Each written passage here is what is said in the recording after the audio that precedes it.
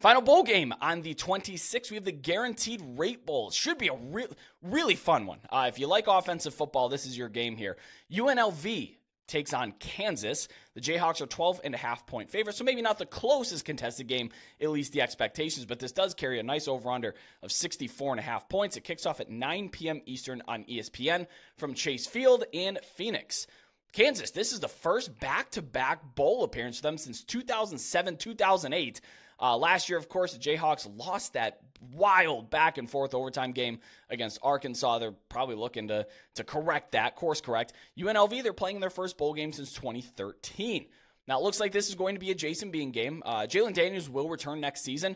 Jason Bean won't. So that tells me he's going to get the start. They're not going to force Daniels in here, even though bowl games don't count toward red shirts. Uh, their offensive coordinator, though, was hired away by Penn State.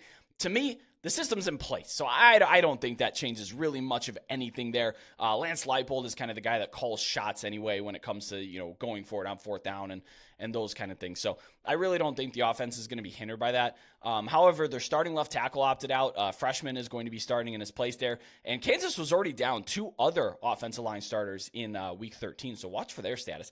Down three starters on the offensive line isn't great. UNLV pretty decent sack rush. They're a top 40 sack rush according to PFF, and they have a 6.6% sack rate, which is uh, about middle of the road, but they're not inept. Let's put it that way. The Rebels, though, they were down a pair of starting safeties in the Mountain West Championship game.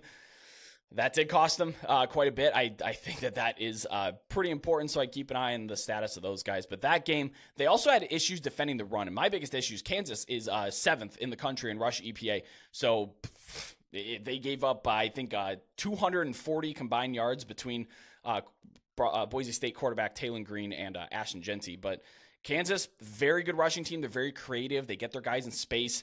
And if you have issues defending the run, that's going to be a problem. If you're looking, if you have college props availability, I know not every state does, but I'm probably taking overs on whatever rushing yards I can get my hand on, be, it running backs, quarterbacks, you name it. Uh, I'm, I'm, probably taking overs on those. But with a number as big as this and, and a total as high as this, high totals, high variance, uh, I'm really staying away from the full game spread here. However, you can take Kansas at minus seven first half. I, I think that's the way that I'm going to lean here.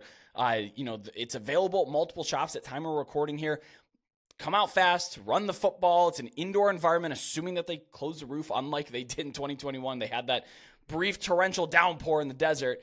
Uh, you know, taking the first half, it avoids the backdoor potential with UNLV's very competent, potent offense. They kept their coaching staff intact, which is a really big deal there. They still have Brennan Marion is the offensive coordinator. So I think they'll have a good game plan. Uh, and again, 12 and a half points with the Kansas defense. That's okay. It's better than last year, but it's not great. Uh, that's something that I'd like to avoid any sort of backdoor late bad beat type stuff. So I'm taking Kansas first half minus seven.